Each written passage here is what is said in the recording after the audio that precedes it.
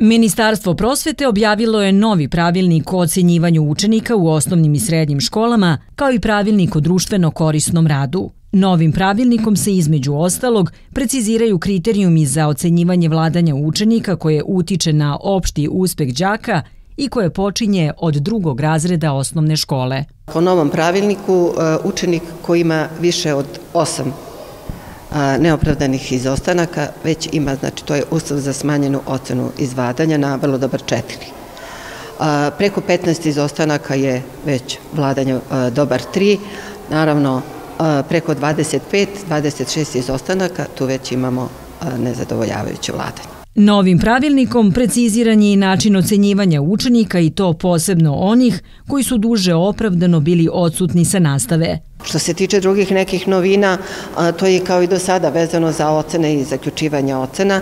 Znači, jasno je i pravilnikom određeno šta učenik mora da ima tokom polugodišta, da bi imao koju aritmetičku sredinu, da bi imao određenu ocenu. Izmenjeni pravilnik akcenat stavlja i na veće uključivanje roditelja u obrazovno-vaspitni rad. Ovde je jedna novina u smislu ako je jedan određen broj roditelja, kažem tačno preko 50% roditelja nezadovoljni radom nastavnika, onda se roditelj obraća školi dopisom. Naravno, škola će preduzimati mere i dužna je da odgovori roditelju, ali to je nešto što, ja bih rekla, što smo i do sada mi u školi radili ako imamo bilo kakvih primetbi na rad nekog nastavnika, da smo svakako pratili njegov rad.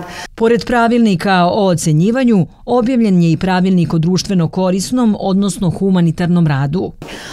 Ovde je cilj razvijanja znači, empatije u svakom smislu te reči i prema drugarima i prema u okviru tih humanitarnih akcija prema ljudima kojima je potrebna pomoć i gde mi možemo i to jest učenici da daju nekakav svoj doprinos. Znači, organizovanje tih humanitarnih akcija, prikupljanje pomoći za one kažem kojima je to potrebno, pomaganje drugu i sve ono što smatramo da doprinosi prevenciji nasilja učenika je obuhvaćeno ovim predlozima za društveno koristan rad. Ministarstvo prosvete je saopštilo da su novi pravilnici deo aktivnosti kojima se jača uloga škola za prevenciju i odgovor na nasilje. Sa tim u vezi predviđeno je da škole imaju tim za krizne događaje kao i program postupanja u kriznim situacijama.